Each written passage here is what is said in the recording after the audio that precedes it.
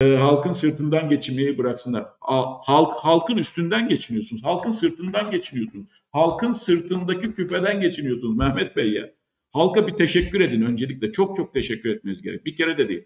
Ben bize vergi koyduğumuz vergilerle, halkın sırtından aldığımız vergilerle e, daha da bunalan, e, fakirleştiğini de yoksullaştığını da bildiğimiz bu halka binlerce kez şükrediyoruz. Binlerce kez teşekkür ediyoruz. Bir teşekkür mesajı bile yayınlamadınız. Yayınlamıyorsunuz. Habire vurabalıya yapıyorsunuz. Çok güzel demiş. Bir teşekkür mesajı yazar mısın oraya?